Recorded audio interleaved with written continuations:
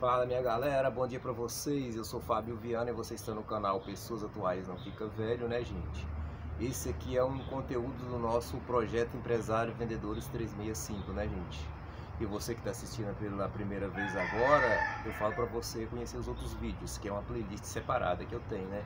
Aqui eu deixo dica para você que trabalha na escola, na roça, em qualquer tipo de serviço, né, gente?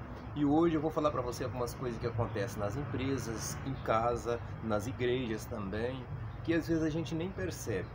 Eu falo a questão de você ajudar os outros. E o que eu quero dizer ajudar os outros não é dar dinheiro, nada disso, viu gente? Se puder, é ótimo, que ótimo você consegue ajudar os outros, você dá um dinheiro para eles e tal. Mas ajuda, gente, não é só essa questão que eu falei agora de dar dinheiro, que você explicar alguma coisa para a pessoa de um conhecimento que você tem, é uma ajuda. Você ensinar uma pessoa uma rua que ele não sabe, uma cidade, indicar um lugar para ir, é uma ajuda. Você ajudar uma pessoa idosa ou uma criança que atravessar uma rua, é uma ajuda. Enfim. Só que você ajudar os outros, principalmente na igreja, na escola, incomoda as outras pessoas. Porque as pessoas que não faz, não ajuda ninguém, eles se sentem mal porque você ajuda. Tem pessoas que sentem tão mal até das amizades que você tem. Imagina se você for ajudar os outros.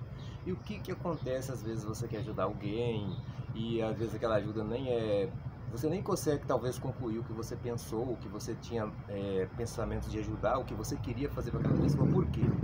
Às vezes você fala, e quando a gente fala para os outros, principalmente a pessoa que não está fazendo nada, ele tira você do seu foco. Se você vai ajudar alguém, ah, vou ajudar fulano de tal a fazer isso. Primeiro que você não precisa ficar falando que você vai ajudar ou isso aqui. Se você for fazer, você já faz em silêncio, vai lá e faz, pronto, acabou. Que até melhora, como diz até a Bíblia diz, a mão direita faz, a esquerda não precisa saber. Mas retomando o nosso assunto, você vai lá e fala para nossa, você vai ajudar fulano, mas pra quê? fulano não faz nada. Na empresa você vê tudo isso, fulano não faz nada, fica o tempo todo e não precisa ajudar não. Vamos fazer outra coisa. Aí você foi lá com aquele intuito de ajudar, aquela pessoa que não faz, não produz, já tirou você do seu foco.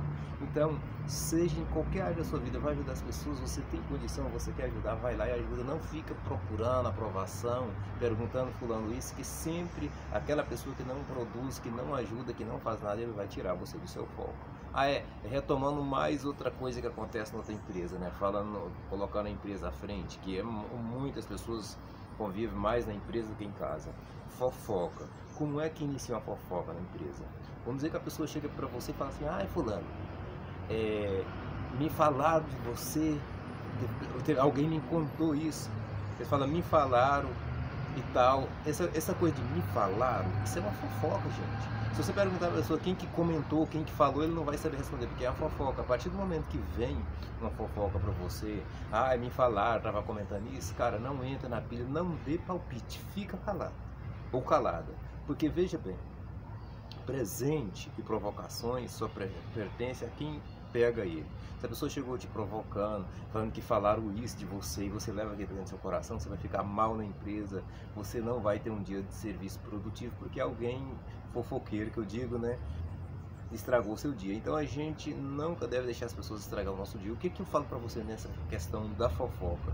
Se a pessoa não sabe quem falou, ele está falando, falaram, assim, tudo bem, falar, eu não gosto de conversa assim, se você não, se você não puder falar quem falou isso, eu eu prefiro que você não me fale mais isso, que eu não gosto de conversa fiada, de fofoca. Seja franco e já fala logo, porque a franqueza é, é, é, não é você esconder, é você ser firme e falar o que você pensa naquele momento, não falar tudo que você pensa, mas agir antes e pensar e falar, ó, eu não gosto de conversa fiada, eu não gosto de fofoca. E é isso, galera. Então, que a fofoca na empresa, é, você ajudar os outros, é uma coisa bem complexa. A gente acha que é fácil, mas não é, porque quem não faz atrapalha você ajudar. E quem não gosta de você e das suas amizades vai ficar também inventando história, vai atrapalhar você de algum modo. Espero que você tenha entendido, né, gente? Esse é um, modo que você tem que aplicar na igreja, na escola, em qualquer lugar. E isso ajuda muito. Eu falo hoje, eu penso muito, eu converso com todo mundo, eu brinco, eu trato todos bem na medida que eu posso, mas eu não escuto tudo que as pessoas falam para mim. Principalmente quando eu vou ajudar alguém, porque senão eu acabo não ajudando a pessoa, às vezes acaba estremecendo a amizade, porque escutou conversa fiada dos outros, né, gente? Ó, melhor dia da sua vida hoje. Se inscreva no canal, deixa o like, compartilhe o vídeo se puder e até de repente, viu, galera?